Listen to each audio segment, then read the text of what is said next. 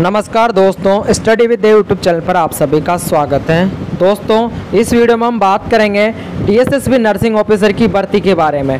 DSSB nursing officer की भर्ती जो 2018 में आई थी, उसका क्या रिज़ल्ट रहा था, क्या कट ऑफ़ गई थी और डॉक्यूमेंट वेरिफिकेशन के लिए कितनी कट ऑफ़ गई थी फाइनल कट ऑफ़ में कितना अंतर आया था, संपूर्ण जानकारी आपको इस वीडियो में देने वाला हूँ। तो दोस्तों, वीडियो को एंड तक ज़रूर देखना और अपने सभी साथियों के पास ज़रूर वीडियो को शेयर करना।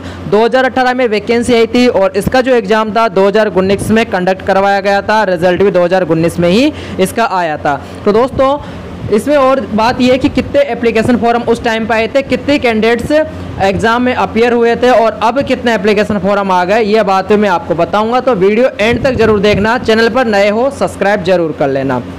तो दोस्तों, सबसे पहले अपन फाइनल कट ऑफ़ देख लेते हैं। फाइनल कट ऑफ़ कितनी रहेगी? लास्ट टाइम जब 2018 में ये वैकेंसी आई थी, तब इस वैकेंसी में एक हज़ार चौबीस पद आए थे ठीक है? ओबीसी के 516 ओबीसी यूआर के 516 ओबीसी के 277 एससी के एक 154 एसटी के 77 पद आए थे। उस टाइम पर ई नहीं बना था ई नहीं था। इसका जो एग्ज़ाम हुआ था लास्ट टाइम 27, 28, उनतीस और 30 अगस्त 2019 को और साथ साथ 30 सितंबर 2019 को हुआ था।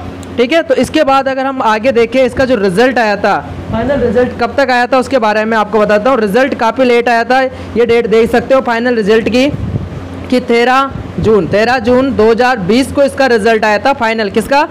2018 में वैकेंसी आई थी और फाइनल रिज़ल्ट आया था 2020 में। मतलब काफ़ी लंबा टाइम यहाँ पर लग चुका था। अब इसके बाद अगर हम देखें, इसका फाइनल रिज़ल्ट तो फाइनल रिज़ल्ट में जो कट ऑफ़ रही थी कैटेगरी वाइज मैं आपको बता देता हूँ कैटेगरी वाइज ये कट ऑफ़ रही थी फाइनल रिज़ल्ट में। ओबीसी के लिए यू आर के लिए 123 ओबीसी के लिए 98 यानी कि आउट ऑफ़ 200 200 में से ये कट ऑफ़ रही थी। और एससी के लिए यहाँ पर 108 एसटी के लिए 102 और एक सर्विसमैन के लिए सत्तर रही थी। यहाँ पर ओबीसी की सबसे कम देखने को मिल रही होगी। क्यों? क्योंकि ओबीसी के लिए सिर्फ़ और सिर्फ़ दिल्ली के कैंडिडेट ही अप्लाई कर सकते हैं, जो दिल्ली के रहने वाले हैं, वही कैंडिडेट्स के लिए अप्लाई कर सकते हैं। अदर स्टेट के कैंडिडेट यहाँ पर इस कैटेगरी में कंसिडर नहीं करे जाते, इस वजह से सबसे कम कट ऑफ़ यहाँ पर ओबीसी की रहती है। तो दोस्तों वीडियो ज़रूर शेयर करना। अब हम बात करते हैं कि इसमें कितने कैंडिडेट अपियर हुए थे। और इस बार अगर कितने कैंडिडेट फॉर्म भरे हैं तो उनके बारे में अगर बताऊँ आपको तो फॉर्म भरे गए, इस बार पाँच लोगों ने इस बार एप्लीकेशन फॉर्म भरे हैं। और लास्ट टाइम जो एग्ज़ाम में अपियर हुए थे, उन कैंडिडेट्स की अगर आप संख्या देखोगे तो उनकी संख्या यहाँ पर आप देख सकते हो। टोटल जो कैंडिडेट अपियर हुए थे, उनतालीस हज़ार नौ सात सौ पचपन। नॉर्मलाइज मार्क जो प्राप्त करे थे, उनतालीस हज़ार नौ उनतालीस हज़ार सात सौ पचपन कैंडिडेट लास्ट टाइम इसमें अपियर हुए थे। इस बार छिन्न हज़ार पाँच सौ पाँच एप्लीकेशन फॉर्म आए हैं। तो इसमें अगर इसको माइनस करते हैं तो देखो कितना आता है।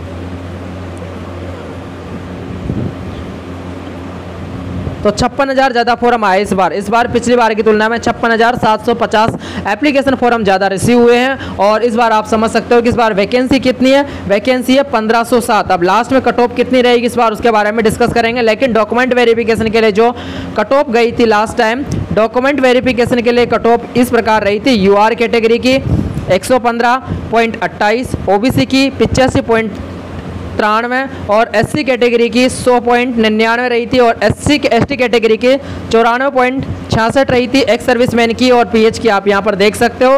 तो ये कट ऑफ़ लास्ट ईयर रही थी 200 में से। किसके लिए? डॉक्यूमेंट वेरिफिकेशन के लिए। यानी कि इन सभी कैंडिडेट्स को डॉक्यूमेंट वेरिफिकेशन ई डोइजर की प्रोसेस जो डीएसएसबी की वेबसाइट पर करवाई जाती है। उस डीएसएसबी की वेबसाइट के, उस एडवाइजर प्रोसेस के लिए ये सभी कैंडिडेट एलिजिबल थे, जिनके इतने मार्क्स आ गए थे 200 में से। आपको वैसे पता होगा इसका सिलेबस में दो सेक्शन होते हैं सेक्शन ए और सेक्शन बी सेक्शन ए में पाँच पार्ट होते हैं बीस बीस क्वेश्चन के पाँच पार्ट होते हैं, जिसमें आपकी जीके होगी मैथ होगी रीजनिंग होगी इंग्लिश होगी हिंदी होगी। पाँच पार्ट उसमें होते हैं और जो आपका सेक्शन बी होता है सेक्शन बी में आपके कंप्लीट हंड्रेड क्वेश्चन आते हैं। ये सभी हंड्रेड क्वेश्चन कहाँ से आते हैं?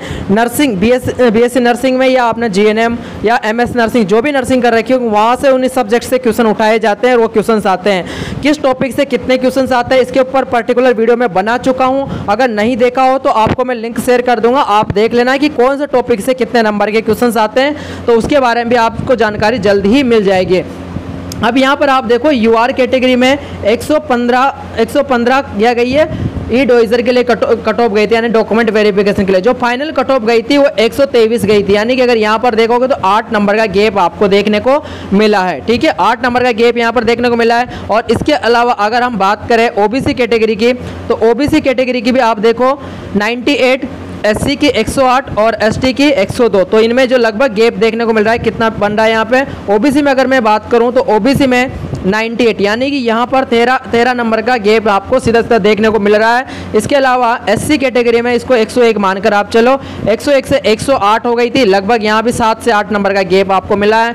एसटी कैटेगरी में सबसे ज़्यादा तो नहीं बोलूँगा इससे भी नाइन्टी से एक सौ दो, यानी कि लगभग आठ नंबर का यहाँ पर आपको उछाल देखने को मिला है। तो दोस्तों ये जो कट ऑफ़ रही थी कट ऑफ़ एडोइजर के लिए और फाइनल कट ऑफ़ में आठ नंबर का, आठ से दस नंबर का गेप हर बार आता है और इस बार भी यही रहेगा, आठ से दस नंबर का गेप यहाँ पर रहने वाला है। तो यहाँ कितने कैंडिडेट्स इन्होंने पास करे हैं?